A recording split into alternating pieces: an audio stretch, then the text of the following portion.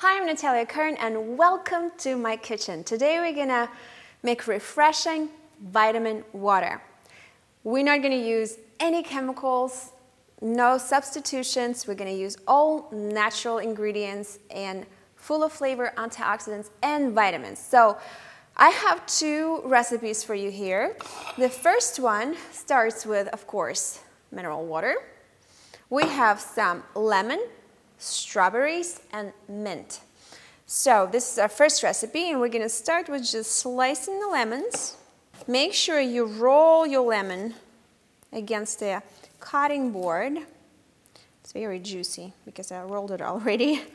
So that way uh, lemon releases the juices and full of vitamin C and that's what you want in your vitamin water.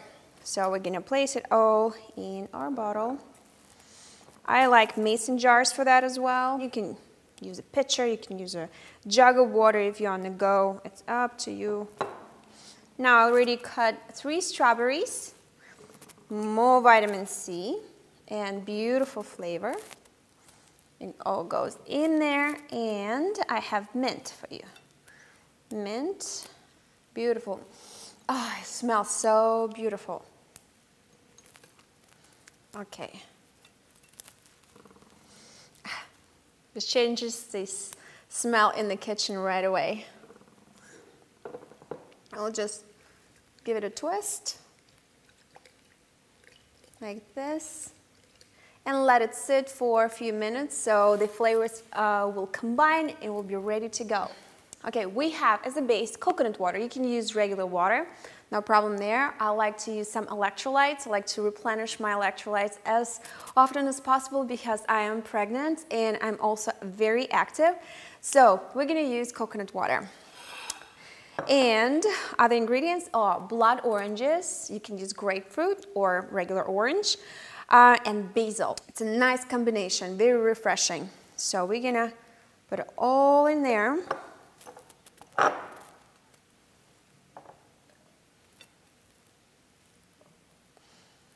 Blood orange is gonna paint our water and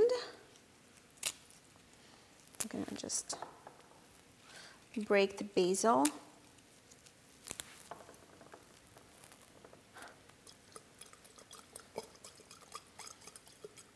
Beautiful. Nice and messy. Okay, so we'll let it sit for a few minutes to combine the flavors and it'll be ready to go. Our strawberry, mint, and lemon water, however, is already ready. And I'm just gonna pour a glass.